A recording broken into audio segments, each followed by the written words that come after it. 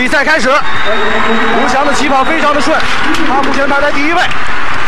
旁边的是特拉梅尔、奥里加尔斯，刘翔处于领先的位置。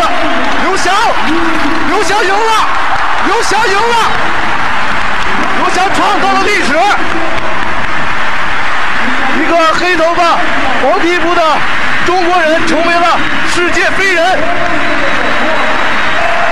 刘翔获得了奥运会金牌，创了新的奥运会纪录，十二秒九一。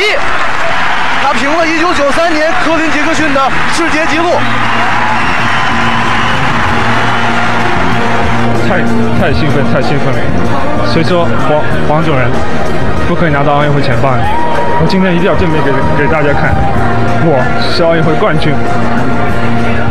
我觉得梦想终究会变成现实的。我相信，在我的身，在我的运运动生涯后，以后还会有更多更多的奇迹等待我去创造，等待我去辉煌。谢谢。